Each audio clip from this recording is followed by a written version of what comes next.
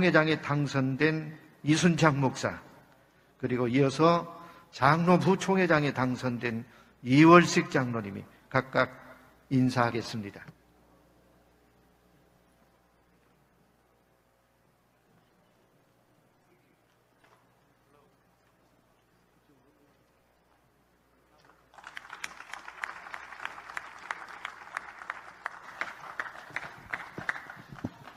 존경하는 제106회 총회장님, 그리고 사랑하는 총대 여러분, 가장 미약한 저에게 힘을 실어 주시니 감사합니다.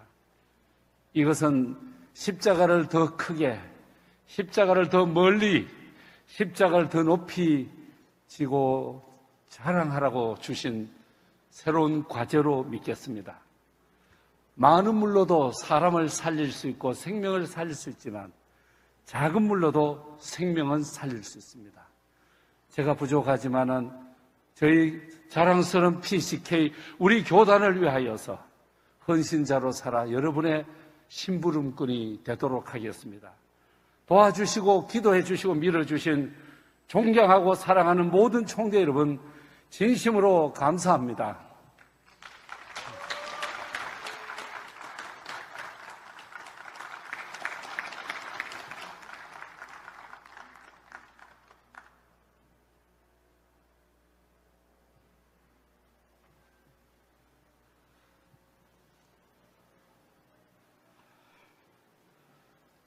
제가 교회를 섬길 때는 노예에 별 관심을 안 가졌었습니다.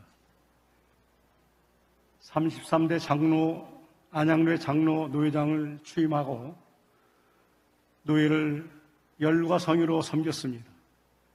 이제 부족하지만 총회를 섬길 기회를 주신 모든 총대님께 감사드리고 유영모 신임 총회장님과 새로운 임원들과 함께 총회를 바로 섬기는데